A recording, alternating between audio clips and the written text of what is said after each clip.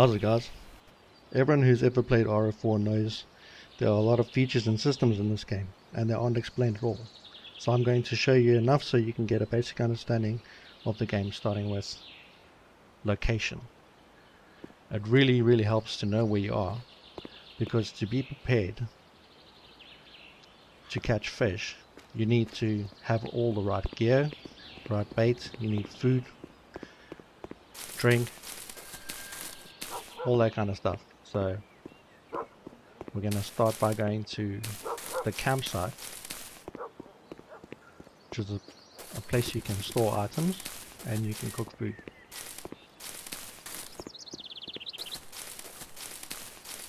And this is the campsite on Mosquito Lake. Inside the tent, you can store a few items if you want. There's the campfire. In the campfire, you can cook tea and coffee and various foods. There's also various other things that will come much later when you level up your food skills. Okay, let's go back to where you spawn.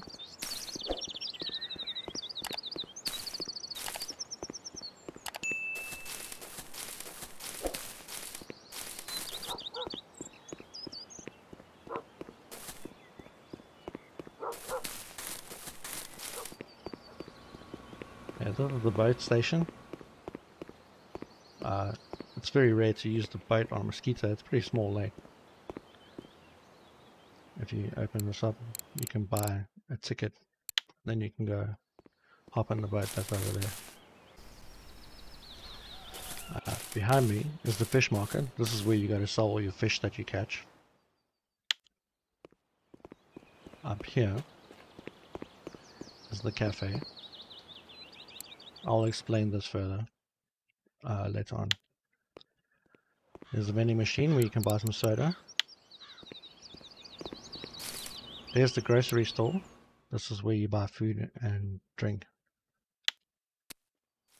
This is the ATM. This is where you can exchange premium currency for in-game currency. This is the hardware store. You can buy various tools and supplies. This is the tackle store. This is where you buy new rods, reels, lines, all that good stuff. Bait.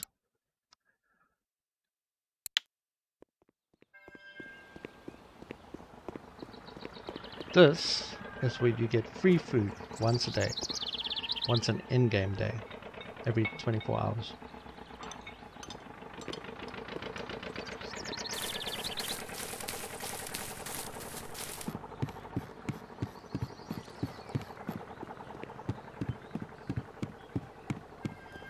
Right here is the player house. Every player gets a free house on Mosquito Lake where you can come here, you can store items like such. I don't have anything stored at the moment. Or you can go inside. You can light a fire which will increase your comfort. I'll explain more about that later. And you can put various decorations and uh, fish you've caught I'll explain more about that as well. And your rods and reels and stuff. And you can sit at the table and read this little book. This table here. I mean, back outside, you can go to the administration where you can enter you buy a map or I believe you get a, a, map for free when you when you start the game. But in case you lose it or something you can buy another. You can also if you press Y you can get spare float tackle. In case you, you lost it somehow you can also get spare spinning tackle. I, I believe it, it comes with bait as well when you get the, the spinning tackle back here, something you shouldn't have to do for a long time, you can enter the workshop and any of your gear you can uh, repair it. But you shouldn't have to do that for quite quite some time. The items in the game are very durable. And what's my next place? This is the taxidermist. This is where you go to mount a fish that you've caught. Uh, just a warning, it's very expensive. But if you catch a trophy and you want to put it on the wall in your house, this is where you go. You'll just select the fish and then you'll select a background. And if you have a Dreamfish voucher, it'll be free, but you're not likely to have that in the beginning of the game. And you can make one. Next up, I'll explain the interface. First of all, if you look in the top left corner, it, there's a few keys you can press. You can press escape and you've got various other things here. You got your map, you got the records, you got competitions, challenges, statistics, crafting, all that good stuff. If you press F1, it gives you the quick help this is very useful, shows all the keybinds. So if you ever forget what is the particular key you need to press for something, this is where you can find it. Just press F1. And you can press Q to open the chat. This opens the chat box. Uh, you can scroll through all the records here. Uh, you can see all the players and you can click messages so you can send or receive private messages to other players and this is you can chat to anyone who's in this area. And currently there are 76 players in this area. Down here we have our experience bar. This number in the center here is the is my current level. This is my current XP and this is the total XP I'll need to reach the next level. This is the energy bar. Energy uh, helps when you're fighting a big fish. If you don't have any energy, it's going to be very difficult to get the fish out of the water. Uh, this is your food bar. Your, your food bar affects your energy. If you if you're hungry, you cannot regain energy. This is the the health bar, which is not currently used in the game and this is your comfort bar. Your comfort affects how fast your energy uh, regenerates. Uh, comfort is affected by the weather, so if it's raining, it's windy, it's cold, your character is not going to be very comfortable, and that will affect how how fast your your energy regenerates. I'll show you how to increase that later. Over here we have the compass with coordinates of your exact location. Um, this little dot here is the direction the wind is blowing from. This here is your keep net. It will tell you exactly how many fish you have in your keep net. And up here we have the weather, cur currently partly cloudy. Uh, it's uh, it's 10:12 in the morning 14 degrees Celsius and there's your wind speed. That'll affect you uh, when you when you're casting but hard to cast when the when the wind's blowing it back at you. Next up one of the most important things is food. That's how you increase food and drink is how you increase your energy and your comfort. Uh, the best thing to increase your comfort is tea the best thing to increase your energy is anything sweet like a uh, this sugar duck classic here. This is fantastic for increasing your energy. Plus maybe a, a soda like the lemonade. And anything sweet like chocolate. I believe there's chocolate here. There's chocolate. That'll in increase your energy. You can also buy here uh, where is it now? There, a pack of tea. You're going to need that to make your own tea. Next up, we'll go to the hardware store. Now, to make tea, you're going to need a tea kettle. You will also need matches and firewood. But once you once you have your tea kettle, your matches and your firewood, then you're going to go to the campsite where I took us earlier, which is down here.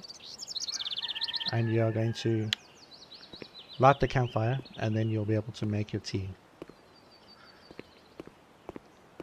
Another important thing is this right here, the shovel. This is absolutely fantastic for getting bait. Let me show you. If you hold the U key, it shows all your rods and reels, as well as equipment.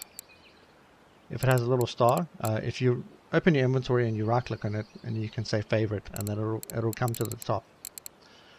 So, what we're looking for is the shovel. I've put it in one of my quick slots. Uh, you can dig anywhere, even in indoors, whatever. And then you'll get some worms or whatever. Depends on your skills as well. I'll explain that later. As you can see here, it's used up a lot of energy. That's one of the, the drawbacks of, of digging uh, for bait is that it uses up a lot of energy. So you, you'll have to eat something sweet or drink some coffee or some soda to bring that back up. Next up, we have bait crafting. If you press the N key, it'll open up your list of recipes. Now, one of, one of the, the earliest, most useful baits is wet bread. So you're going to buy yourself some threaded loaf from the grocery store. And then you'll click make. And it'll make some wet bread. And then you've got some bait, which is pretty useful for crucian and gibel. Um, various other carp, even uh, common roach will eat wet bread. Uh, as as you make more and more, you'll you'll level up your skills, and then you'll be able to unlock different recipes. As you can see a pearl barley, oatmeal, all of this stuff can be bought in the grocery store. Like say for instance, pearl barley here. You go inside the grocery store, and then we're going to look for pearl barley. There's the pearl barley. buy one of those. Close that. Press N. Click pearl barley. Click make. And then you've got 54 pieces of pearl barley. Very easy way to get bait. You will of course need to unlock that if we look at our skills by pressing the O key and we go to I believe it's harvesting dates. now you'll go through. As as you get more skill points and you level up you'll unlock these. So this I, I believe it's uh, increments of every five levels. So uh, I think you have these two in the beginning and then at level 5 I, I believe you have this as well at level 5, you'll get this, making potatoes. And then at level 10, this, and so on. I'm not, I'm not 100% sure on the level requirements, but you will go through it and you will unlock these things. Other things you can do is making lures. Uh, simply by buying the materials required and making the lures, which is under the N key once again, and then you click lures say create, you buy the, the materials and the mold, and then you click make, and you can make your own lures. You can also make leaders when it comes to that, and you can make food. Some some food can be made right from here.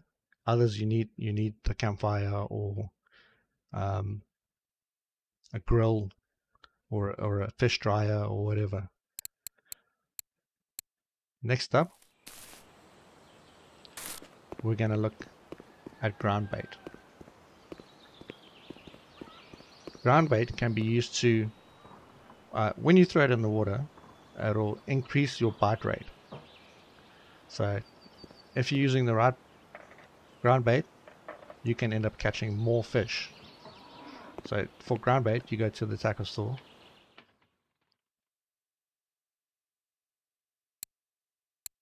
You click the ground ground bait tab. Now early on, because your skills are low, you won't be able to make very much. So the best thing to do is to come by crackers, you just buy one of those, and then we'll open the N key once again, click on ground baits, click ground baits, click mixture, and then you'll click your ground crackers, and you'll add that, and you click make. This won't be super effective, but it's better than nothing. Eventually, you're going to want to unlock as your skills level up, you're going to unlock new ones. So then you're going to want to make specific ones. So if you're targeting Crucian and Gibel, then you'll make this one. And then here, here's the recipe. So you buy ground crackers, millet porridge, and sunflower oil. Or here's one for roach, ground crackers, bloodworm, caramel. All of those can be bought here in the tackle store under the ground bait section. You get your basics, that's your crackers, and your additives. That's basically like flavoring that you add. And then your attractant, which is um, a, a scent, so it'll attract the fish. Next up, I'll show you my favorite method for making money in this game, which is right here by the cafe. In the cafe, you have cafe orders. So say for instance, I catch three gibel carp uh, that weigh 30 grams and up. If I bring them here, they'll give me five silver. Now three gibel carp at 30 grams, what if you sell it to the fish market, you won't get as much money, not at all. I, I don't even think you'll get one silver for 330 gram gibel carp. So if you know where to fish, or just fish randomly, see what you get. Uh, and before you take it to the, the fish market, you come here, see if you can fill any of these orders, and then you'll make a significant amount of money. Now, how to float fish. The, the tutorial gives you a basic idea of how to float fish. But sometimes you forget or you don't you don't understand the explanation on how to do it. So we'll come here. By the way, how you do that, you hold the U key and then you can select all your gear. You can add it here. So if I take this, uh, this is the rod I'm holding in my hand you put that here and now it is in in a hotkey so press another key switch to a different rod press the one key and it's back to the rod I put in, in the one slot yeah let's just I would advise going for small hooks and uh, a worm is a nice general bait that you can target many different species with. Now, you're first going to want to set your float depth. Now, many fish will sit at the bottom. So, in this area, the bottom is at 80 centimeters Just, I think it's about 85, somewhere there. So you want to be as close to the bottom, and then you're just going to cast out while holding the left click. And then throw your bait in the water. And there it sits. Okay, now, the, the thing that used to confuse me when I first started was how to know when to strike. Because, as we'll see there, that right there is a good time to strike.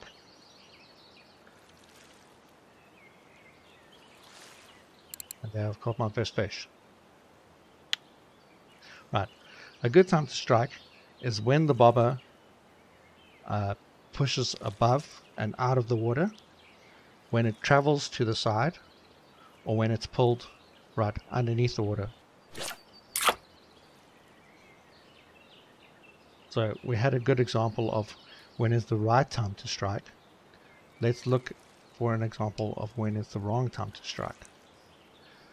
So we're going to send and we're going to wait. There.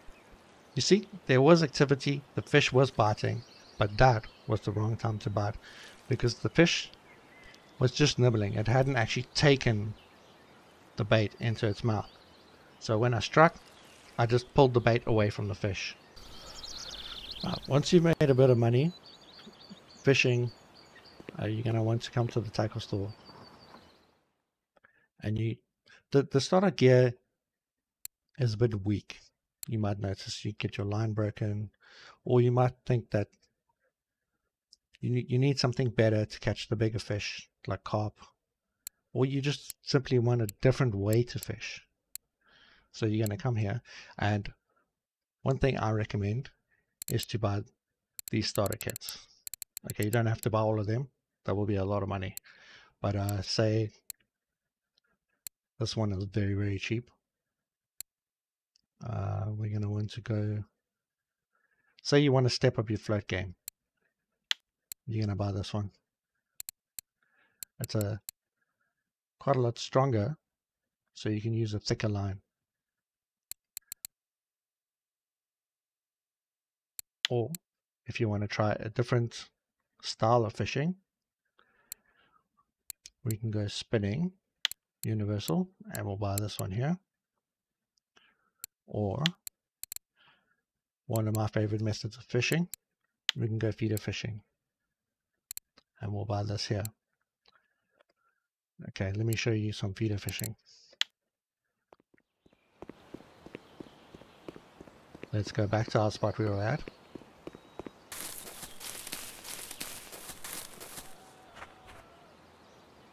We're going to find a feeder rod. We're to put it in the slot.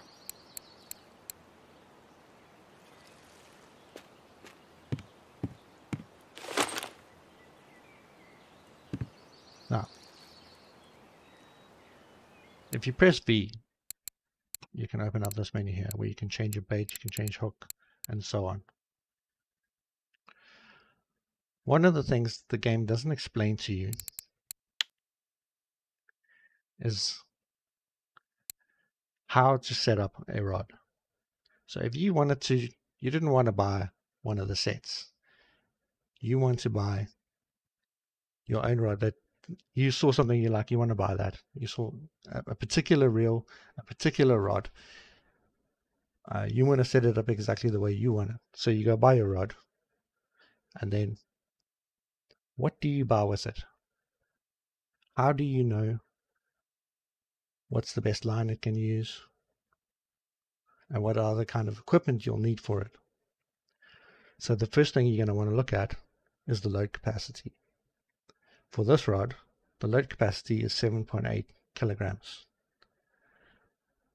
For that, you do not want your fishing line to exceed that number. As you can see here, it's 7.5 kilograms.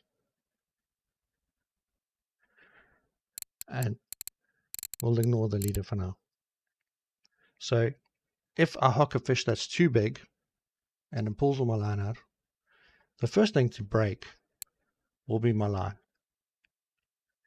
If this number is higher, say it's 8 kilograms, the first thing to break will be my rod.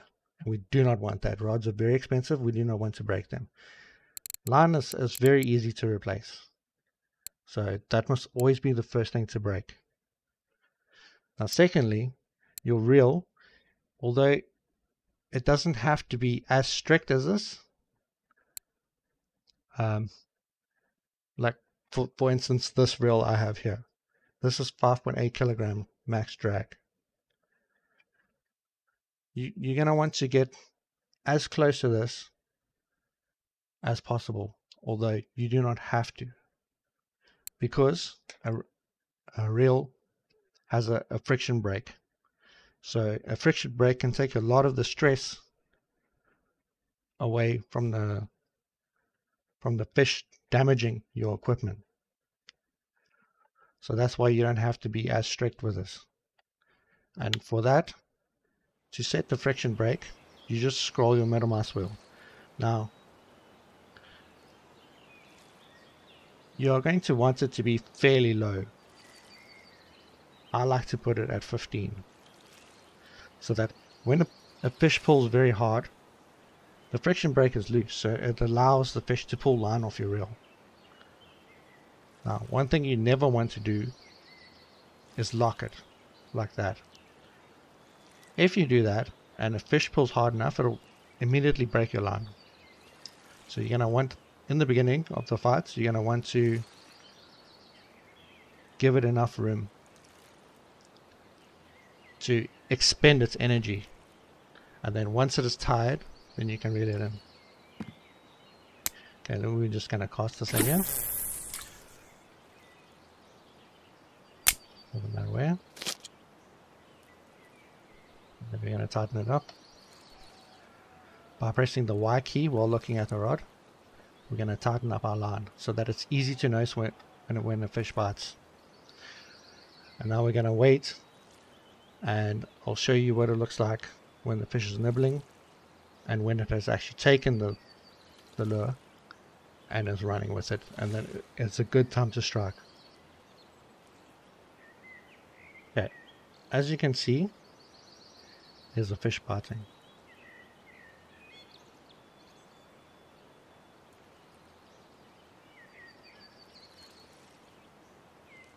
And that is a good time to strike when when you see the line moving like that and the tip of the rod pull down quite hard like that, that is a good time to strike. And there you see I've caught a perch. Now, to help us, when you press V again, you click here and you add a bite indicator, which should come with your set. Another interesting thing is a a feed mesh. So normally you would have a sinker in this this slot. So if you add a feeder cage, now you can take your, your ground bait you made, whichever one, just take that and you stick it in there. So that when you cast, the, the feed spreads out in the water.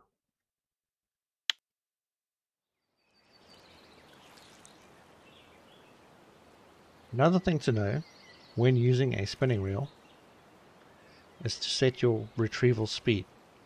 You hold down the R key and then you scroll your middle mouse wheel. And that can change the the speed with which you retrieve. So say let's put it really low and then we cast out. Now when we're reeling in it's very slow. So you hold down R and then you increase the speed and it speeds up your wheeling.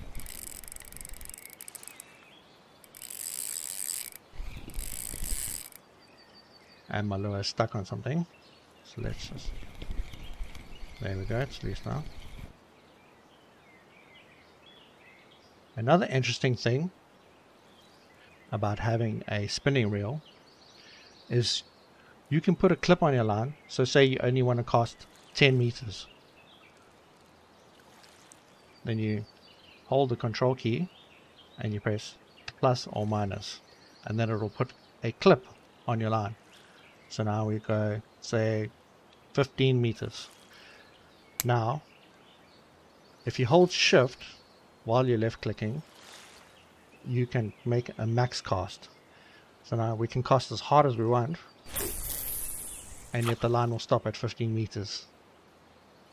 So if you know that all the fish are biting out at 15 meters, then you can clip your line and it'll it'll stop there exactly on the spot.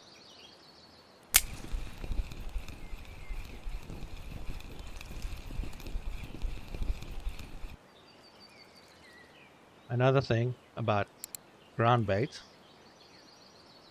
so let's take that one.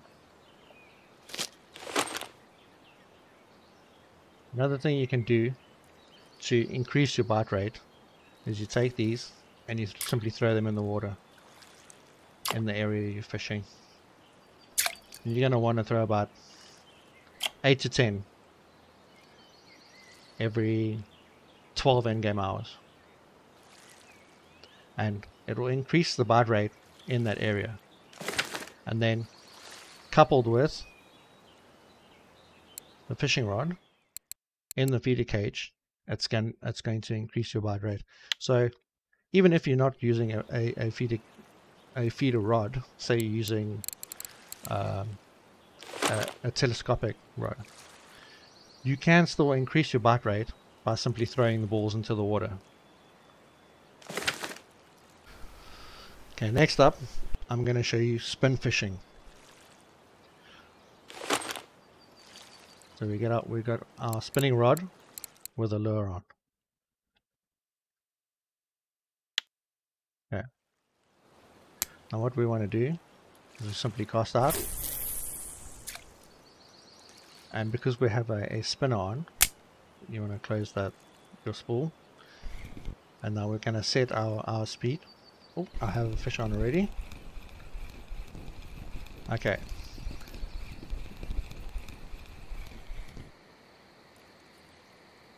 Another, nice little fish. Okay.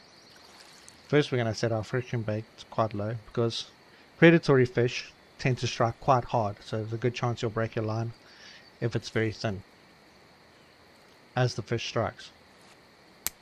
Okay, so we cast that again. And then we're going to set our retrieval speed. Now for spinners you want to keep it quite low and, wow, there's another fish on again. Not normally quite this active. That's another perch. Quite a nice one actually. This actually gives me another good point that I forgot to mention. This little green tag here indicates that this is quite a valuable fish. It's a nice size and the the uh, fish market will pay really well for this this this fish. See, these others, they're not really enough. They don't have a green tag. It's because they're not really a nice size. This, this is 52 grams. This is 380 grams. Quite a big difference. It's a little tiny fish. It's people aren't going to pay very much money for a little tiny fish that isn't going to feed them very well. Okay, back to spin fishing you're going to want to set your retrieval speed for spinners. I prefer to keep it between 16 and 22. So you're going to cast out again. Let's see if I get a, a fish immediately again. Probably not. And then you're simply going to retrieve it. Just like that. And now a spinner, you don't have to do, you don't really have to do any fancy retrieval. See, there's a fish on just like that just simply because of the, the way the the, the lure um, moves in the water. It's quite enticing to the fish. Other lures require certain actions to be done to attract the fish. But for now, this is all you need to know. Because you are going to have to level up once again. You're going to have to level up your, your spinning skills to start fishing with other things like spoons, jigging, that's uh, little plastic lures, and, so on. Now, one thing you want to know is how to find fish. Where do you cast? How do you know where to find the fish? Okay, first off, one thing that's good to know is that fishes like what is referred to as structure. All of this here, all of this grass, this is structure. This pier is structure. Let, let's walk around and see if we can find some more. These these boats, these lilies, it's all structure. This this pier here is structure.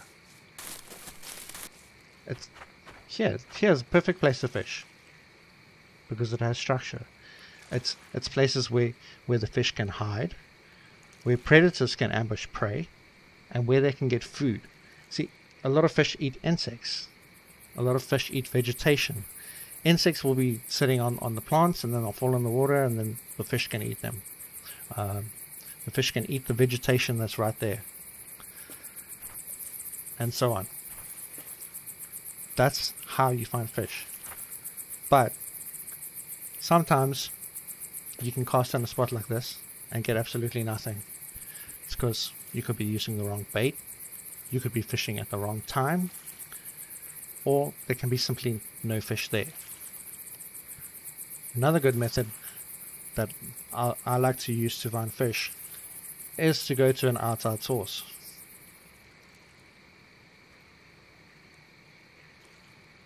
Uh, one of my favorite is on the Russian Fishing 4 forum, there is a, a thread called Hotspots Reworks. And this one is super handy. So, okay, we on Mosquito Lake, we want to know where are good places to fish. Now, this is this is just a general guideline. Uh, the fish might not be active one day that you decide to fish there. Uh, but generally, this is a, a good idea of where to look. So say you want to catch crucian and gibel, then you'll click here. And it, these spots that are highlighted are the currently active spots. Now, they might not always be active, but this is a, a, a good idea to go off of. And this is also a nice way to fill your, your cafe orders. So this spot here says 4573. So we're going to look here. There's 4573. So you know where it is. And it says here, clip 10 meters. So you're going to know you want to cast 10 meters away from where you're standing. And that is the best spot to catch crucian and gibel. And then obviously you get all these other ones as well. And you can go all, all over the the lake. And then you can go here that's just a picture. These frogs and bleak, currently active spots. These uh, white bream and normal bream, currently active spots, and so on. It's it's it's not foolproof. Sometimes you may go there and catch nothing, but it, this is a is a good idea on where to look. Uh, another great way is going to the official Russian Fishing 4 Discord, clicking on the spots section, and then you'll click Mosquito Lake. And people will, will post where they've caught fish and what they've caught it on, and that's another great way to look. And also another thing is, like say you went on the Discord and they told you about a, a particular spot, say 82, 89, they they're catching some nice fish there. So then um, it's not indicated on here where 82, 89 is. So then what we'll do is we'll come to this here. This is another uh, web page that I really really love. It's super useful. It's called rf4.info. I'll put all the all the links in the description. And then we'll come here. We, I've clicked on, on Mosquito Lake. And then we come here and say 82 89 and click search and then it shows you exactly where it is. Another useful thing is say you're at this spot and you know there's bream here and you know bream like to live in the, in the deep water. So you can move this here and click there. So you know you, you're casting in deep water as this indicates here. It says 4 meters. And that'll show that you need to cast 29 meters to reach the, the hole. And so that's also another useful thing. Okay. If you actually made it this far, I'll, I'll, I'll leave you with a nice little tip. Click on this video here and it will show you a, a nice spot to catch bleak and possibly catch your first trophy. Uh, Anyway, cheers guys. Take care. Thank you for watching. Bye bye.